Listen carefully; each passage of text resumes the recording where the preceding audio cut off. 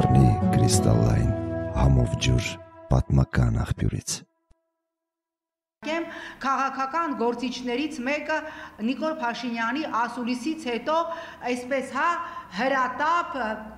դիեջելով թաշկինակ է ուղարկել Պուտինի աշխատակազ, որբիսի այնտեղ մաքրեն Նիկոլ Փաշինյանի թուքը թքած Ռուսաստանի երեսին։ Ինչ ասես Նիկոլ Փաշինյանը։ Նիկոլ Փաշինյանը նախասեց, ես ինչ չէր Բաքվում խոսում Լավրովը, երբ որ նա պարտավոր է ներկայացնել Ռուսաստանի տեսակետը եւ երկրորդ, հիմա դիմում եմ ռազմագերիների ծնողներ ձեզ։ Նա ասեց. գնացեք եւ ձեր ворթիներին ուզեք Ռուսաստան Ռուսաստանից, ռուս խաղաղապահներից, որովհետև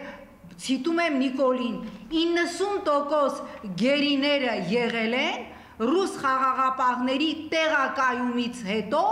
եւ նրանց վերահսկողության գոտուց, այսինքն խոսելով նաև խծաբերդի այսպես հա առումից խծաբերդուն, երբ որ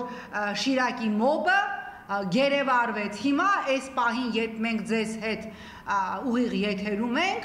նրա ասուլիսից ողքեվորված մի խումբ ռազմագերիների ծնողներ Ռուսաստանի կարծեմ ներկայացուցչության հյուպատոսության դիմաց Գյումրիում նստածություն են անում, այսինքն ինքը գեներացնում է հակառուսական տրամադրություններ եւ կան իդեպ նաեւ ռուսամետ քաղաքական ուժեր, ովքեր ասում են լավ է անում Ռուսաստան ձեզ հանձնում հասնում է, որովհետեւ երբ որ կար քանիցս հնարավորություն այս օգտագործեմ Լևոն Տեր-Պետրոսյանի լեքսիկոնը, հա,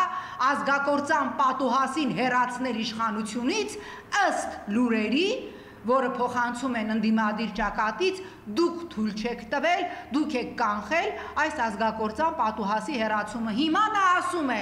որ մեր գերիների մեղավորությունը ձերն է, Ռուսաստանինն է եւ գնացեք ձեր worth-իներին ուզեք Ռուսաստանից։ Երկրորդ